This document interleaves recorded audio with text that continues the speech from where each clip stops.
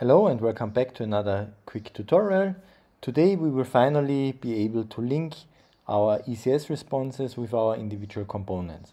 So therefore let's start and continue where we left last time. So first of all we will now make a return that we just received a response from our ECS because we just want to listen to the ECS responses. Therefore the requests are ignored and the responses are returned. As a next step, we just print the response out and also compile and quickly validate if it's working with the Godot editor. Therefore, we play again and we should see still our message in the errors. Yes, and here it is. So far, so good. As a next step, we need to add two new files. One will be like ECS utils and then a module to export those. So the idea behind is that we add now a new method in, within the ECS utils which will be used to subscribe individual created nodes to the ECS. So therefore we're going to write the business logic right now.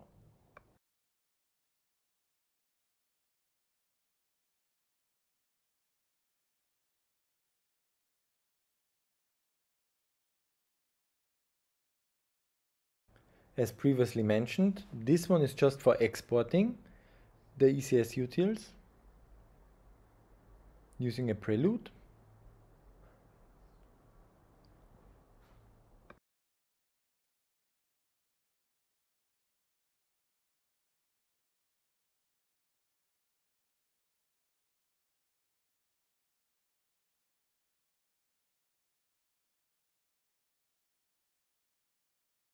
And the ECS utils will now include actually our subscriber uh, method. So what it should do, it will just add a new node to the ECS node to connect to the particular method as soon as a new response is received. By this approach, we can notify all our child nodes, which should actually listen to kind of those events um, dispatched from the ECS.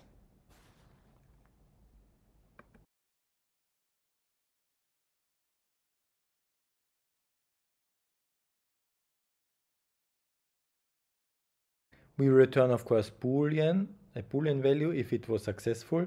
We pass the ID um, and we also will pass a node just so that we are able to actually call the specific parent um, operations what we want. So for example, we want to get the root tree node so that we can then start searching for various IDs and extract them so that we can actually get to the ECS node and so on and so on. But first we should add the utils in our module declaration. Otherwise the whole syntax highlighting might not work. Now let's add the imports as needed.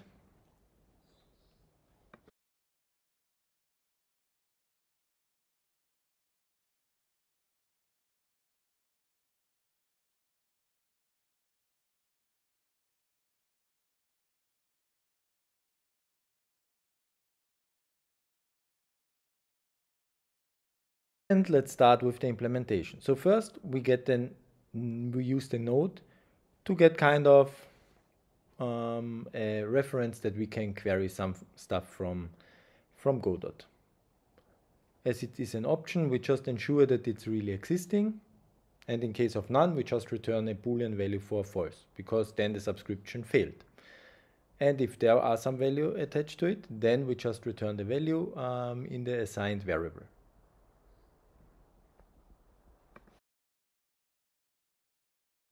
We do something similar um, with the root or with the tree.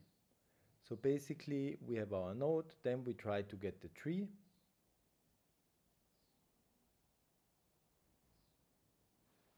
And then return the tree if it was available or not, based on the some or none uh, pattern matching.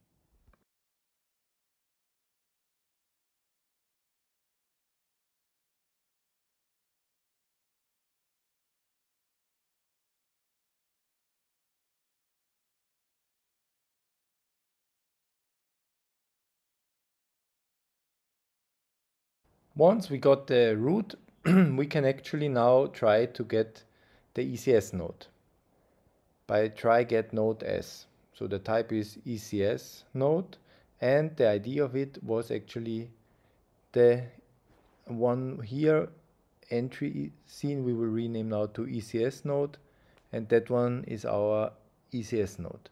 Please keep in mind that the, um, the ECS node you saw now just in the editor is of the type ECS node as well. And then we just resolve here also the pattern matching and return the ECS if it exists. Of course, if the value is unknown or I mean none, we just return false as the subscription would fail in that case.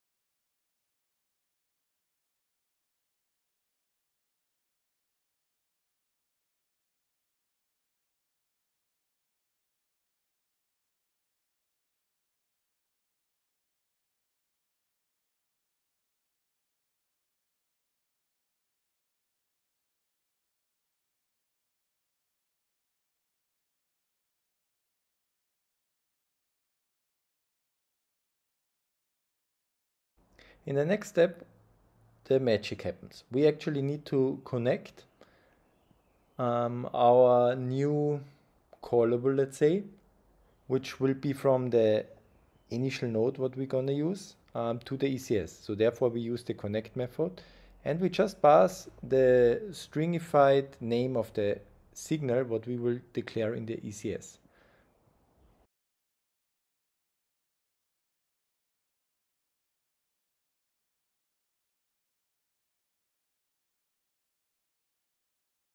And so that the signal knows what kind of callback or method should be executed, we are now declaring a callback callable, let's say, um, which will then be exactly the string of the matching definition in our um, node, which should subscribe to the ECS. So in that case, handle ECS response and then we just pass it to our connect and of course on receive ECS response we also need to pass the um, into so that it gets properly converted to the Godot um, struct.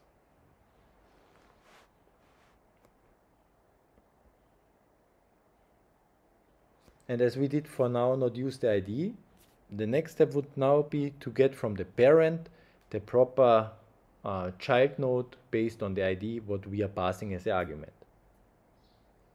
So therefore we just use our uh, try get node s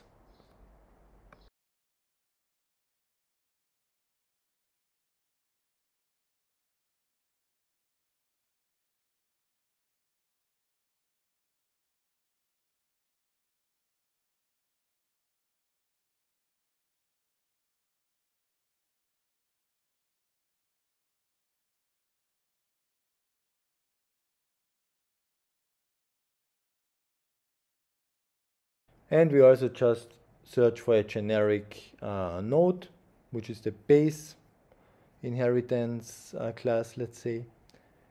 Um, and then we just use it to call our method in case that the ECS dispatched the signal.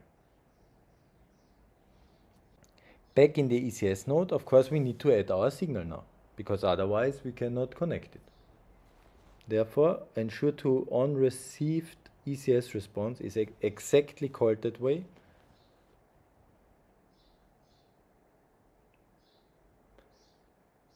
And then we just pass route and the signal annotation. Don't forget the semicolon at the end. And here we are. One step closer to finally be able to subscribe.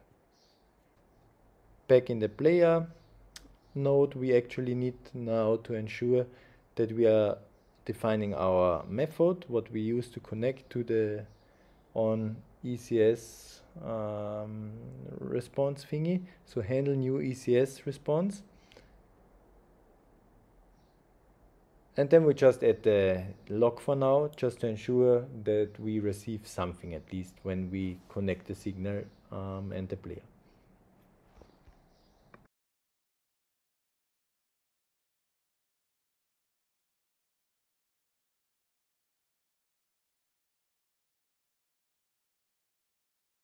As a next step, we need to ensure that we subscribe to it. So therefore, I recommend to use the ready method of course, it's always very individual and depends on your project, but in, in this demo, I use exactly the ready entry to subscribe to the ECS response. And as we said, we are going to pass the ID. The ID is actually the node's name itself. And we also pass the parent because within the parent we can search everything. So that is quite um, needed in that case and convenient and then we just pass those variables to the subscribe to ECS response.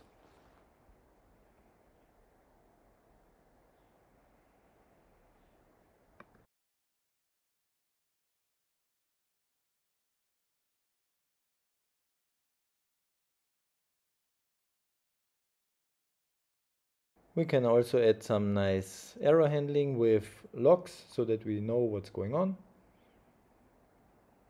So if we uh, get as a result false, then it failed to subscribe, and if it's true, then it was successful. And that our ECS also knows what's going on, I would recommend that every time we subscribe, we also dispatch a new um, event to the ECS, which notifies the ECS that a new component entity, whatever, was added. Therefore, we extend the ECS request with a new type or with a new um, event. And of course, we need also to extend the ECS response. Did add new ECS subscriber, for example.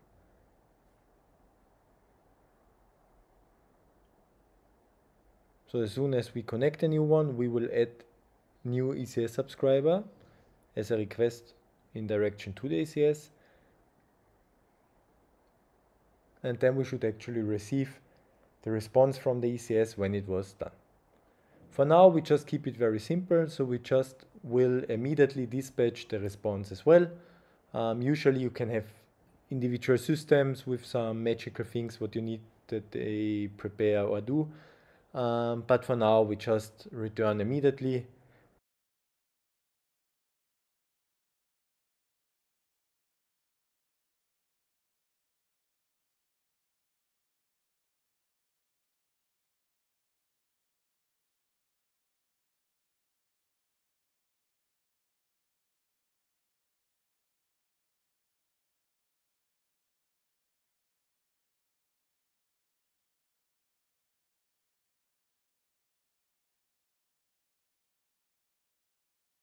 And of course, back in the ECS, we now need to emit our new signal, what we just defined. So therefore, let's get rid of the Godot error in the ECS node.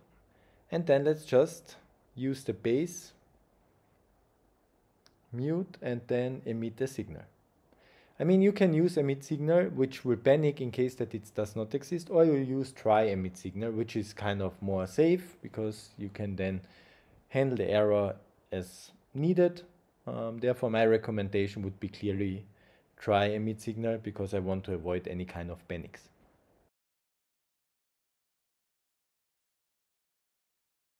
And as a second parameter, there are the args, what you are passing to this method. For now, we just keep them as empty array because we will then add the conversion of our response in a Godot proper type very soon. And then we just handle the error print it out and the OK is just silent or can be also like if sending was successful that we see also the event what has been sent to the individual Godot nodes. In that particular case it's the player.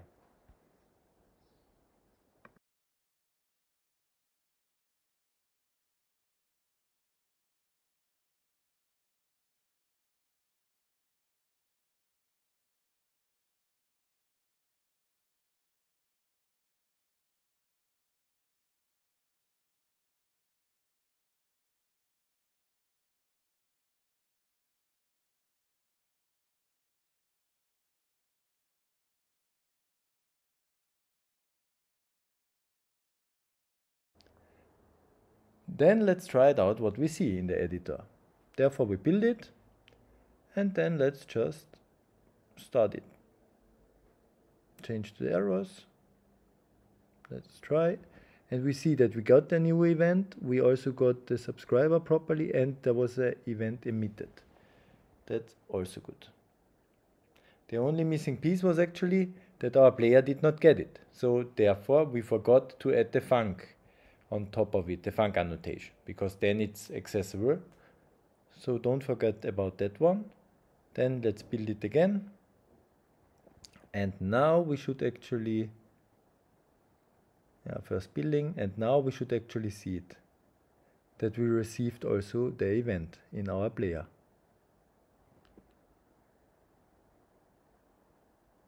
Yes, received response for player. Nice. So the basic connection is now working. Now would be nice to also get arguments. Therefore, we will introduce a new type. The Godot ECS response, for example. Heading back to the ECS node, we will then define the type there.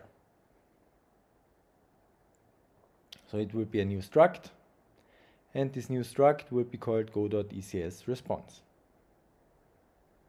and part of that one we are putting just for test purpose now a event type which is a G-string. So when you are using specific methods from Godot, sometimes it's required to have Godot specific um, types in usage because otherwise it will not work. Therefore, we will now implement a from for Godot um, ECS response so that we do kind of conversion from an ECS response to this kind of new Godot ECS response.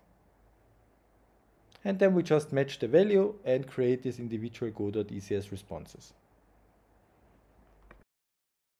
Of course, you can use also other primitive types like integer values or something. Just for simplification, I decided here to use a string. Because when you are, for example, want to have string payloads, then you also see that you need to convert them to G strings in order to pass them properly. It's very simple types like integers, floats, uh, usizes, and so on.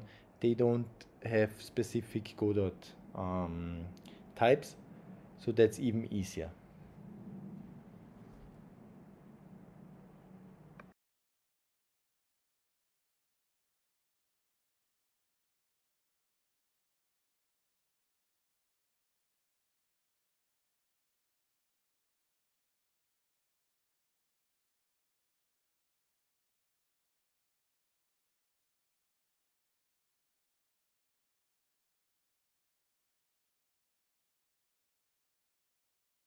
And as one of the last steps, we need also to extend the Godot ECS response with some um, derives and also with a Godot uh, declaration. So Godot transparent, that's the first one. And the second one is that we need to derive for this type the Godot convert and we also derive debug so that we can print out with a Godot error message, for example, what we received.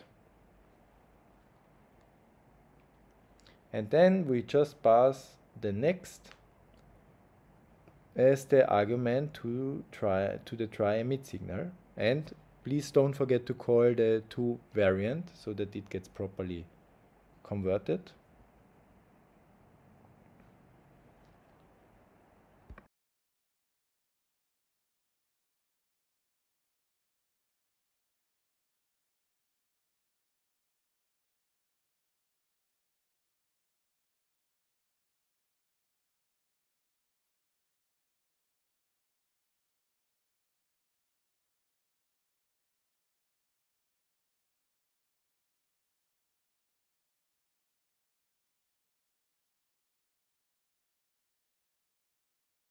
Back at the player, we just align the response, Godot ECS response, and also let's print it out.